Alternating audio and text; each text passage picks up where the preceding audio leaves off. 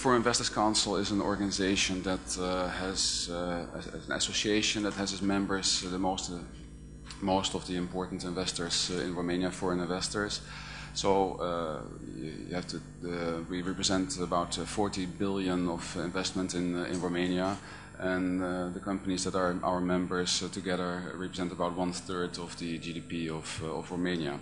So quite an, quite I say, quite an important group. Obviously, there are a lot of our members are important players in the in the energy sector.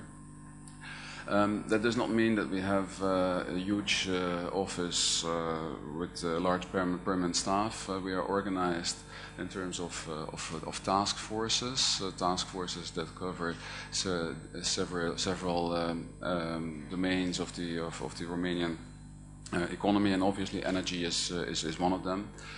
Um, maybe interesting to mention that uh, we every two years we publish what we call a white book in which we describe uh, the progress made in certain aspects of the economy and also recommendations to what needs to be done in order to further improve uh, the environment. Uh, the white book was published only a few weeks ago. It looks like this. It's white as you can see. And, um, but uh, I, I, think it's um, it's an interesting document and it can be downloaded uh, for free from the uh, Foreign Investors uh, website, which uh, the address is pretty simple, uh, fic.ro.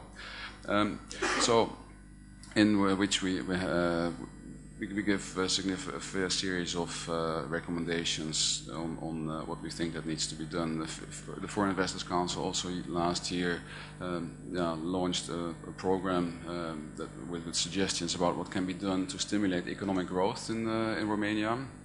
I think an, uh, uh, at the end of the day, uh, if we have an, an, economy that is better performing and we have growth that is of interest to, to everybody, and we are absolutely willing to contribute to to this, and the white book is only one of the uh, one of the uh, ways that we, uh, we we do this.